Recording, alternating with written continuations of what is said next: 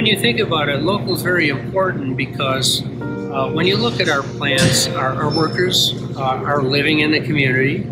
Um, I think uh, the furthest commute uh, is four or five miles. Cheese factories have always had a huge impact locally because we're supporting um, 50 local dairy farms or more from all the farms that we uh, are buying milk from. So we produce about 4 million pounds of cheese. That's a tremendous amount of money uh, that stays in our community and rolls through our community again and again and again and again, that five or six times.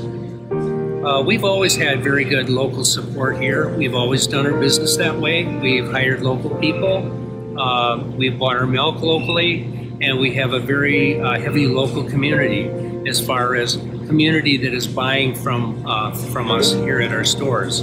They uh, uh, feel that our quality is is better than they can get anywhere else, and they make it a point of, of, of buying local.